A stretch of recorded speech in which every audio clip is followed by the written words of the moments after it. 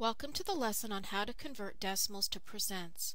As you may recall, decimals are a kind of partial numbers. Like fractions, decimals indicate that you have a quantity that is less than a whole. Percents are similar in that they tell you how much of something you have out of 100. In this lesson, we are going to focus on the meaning of percent and the steps you take to convert decimals to percents. As you know, our numbering system is based on powers of 10. We use 10 standard symbols 0, 1, 2, 3, 4, 5, 6, 7, 8, and 9, and then begin to combine symbols to indicate values greater than 10. When dealing with partial numbers, we also use powers of 10 to indicate how much of something we have. In decimals, we do this by naming values, places based on powers of 10, such as tenths, hundredths, thousandths, and so on. Percentages are strictly based on the value of 100, itself, of course, a power of 10. In Latin, the word percent literally means per hundred. In math terms, it's a way of saying of how many parts of something we have out of a total of a hundred. For example, when we say the sales tax on an item is 7%, what we are saying is that we have to pay 7 cents for every 100 cents we spend. Have you ever thought about the origin of the symbol itself in used to indicate percent?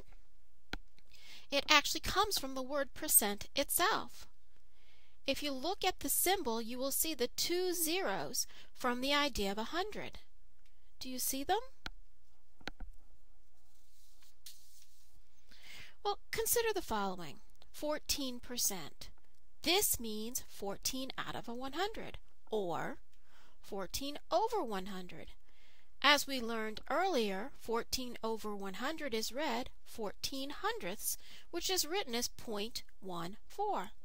This percent has been changed to a decimal. Changing a decimal to a percent is really a very easy process. It is a matter of moving the decimal point two places to the right and then adding the percent symbol to remind ourselves that the decimal has been moved. So, for the number on the screen, 681 thousandths is 68 and 1 tenth percent. Easy, no? Look at this number. And let's think about what it looks like when written as a percent. Remember, we need to move the decimal point two places to the right. But there's only one number there, so we need a placeholder, 0. Therefore, 2 tenths is the same as 20%. Last example, I promise. Suppose you want to change 4 to a percent. Remember the hidden decimal point? If you don't see it, it's always at the end of a number. Move it two places to the right and fill in the blanks with zeros.